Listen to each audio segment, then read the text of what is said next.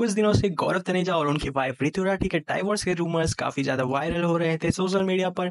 इसी बीच ऋतु राठी का एक वीडियो भी वायरल जा रहा है, जहाँ वो बताती है वो अपने पति और शादी से क्या चीज़ को लेकर नाराज़ है। आप भी देखें इस वीडियो को। मुझे ये चीज़ समझने में ना थोड़ा टाइम लगा था शादी के बाद की पूरा तब लगता है जैसे मेरी फ्रेंड्स हैं सब, वो भी न्यूली मैरिड है, मेरी एज ग्रुप की हैं। वो तो डेली अपने पति, पतियों के साथ बाहर जा रही हैं पार्टी में आती है तो साथ में आती हैं। मेरे साथ ऐसा नहीं होता। I go alone most of the time मेरे को इसमें बुरा नहीं लगता। मतलब पहले लगता था, फिर मैंने मतलब ट्राई किया कि गौरव चलने लगे बट ये नहीं चलते हैं क्योंकि ये इतने बिज़ी हैं यार उनके साथ फ्लाइंग भी है यूट्यूब भी है एडिटिंग भी है, ये भी है, फलाना भी, सारी चीज़ें करनी है। लास्ट में मैं आऊँगी कि मेरे साथ टाइम बिताना है।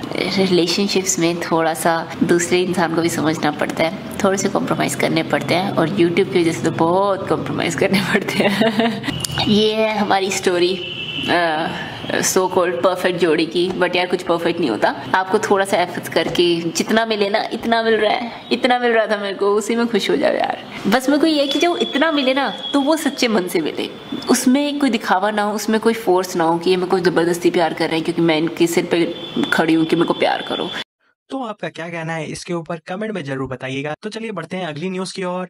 यहाँ पर अदनान शेख की बहन ने बहुत सारे एलिगेशन अपने भाई के ऊपर लगा दिए हैं। उन्होंने सोशल मीडिया में पोस्ट करते हुए कहा कि उनके भाई ने उन्हें बुरी तरह मारा है, इसीलिए अब वो पुलिस स्टेशन में है।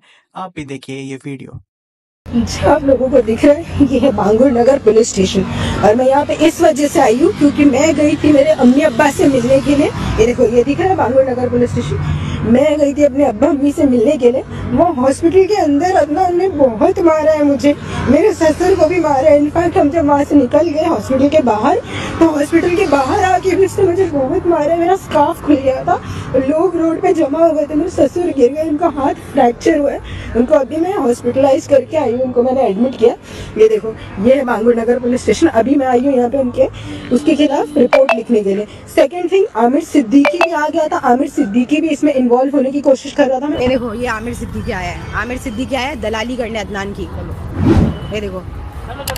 तो आपका क्या कहना है इसको लेकर? कमेंट में ज़रूर बताइएगा। सोशल मीडिया से लेटेस्ट ट्रेंडिंग अपडेट जानने के लिए न्यूज़ बॉक्स को अभी सब्सक्राइब कर दो।